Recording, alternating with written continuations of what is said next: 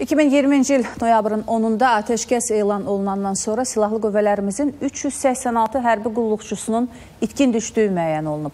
Respublika Hərbi Prokurorluğunun məlumatına görə şahidlərin dindirilməsi və ifadələrinin yerində yoxlanması, mobil telefon nömrələrinin anten məlumatlarının götürülməsi və digər zəruri istintaq hərəkətlərinin icrası yolu ilə itkin düşmüş 362 hərbi qulluqçumuzun meyitlərinin olduğu ərazilər və bastırıldığı yerlər müəyyənləşib, şəxsiyyətləri müəyyən edilərək yaxınlarına təhvil verilib. İtkin düşmüş 24 hərbi qulluqçunun olduqları yerlərin müəyyən olunması məqsədi ilə axtarış qrupları tərəfindən hazırda Tərtər, Füzuli, Cəbrayıl, Xocavənd və Xocalı rayonlarının ərazilərində Şuşa şəhəri ətrafında müvafiq axtarış işləri aparılır.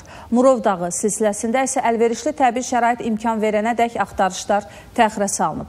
O cümlədən həmin hərbi qulluqçularımızın əsir götürülmələri və yaxud meyitlərinin qarşı tərəfdə olmaları ehtimalları ətrafında da istintaq əməliyyat tədbirlərinin icrası davam edir.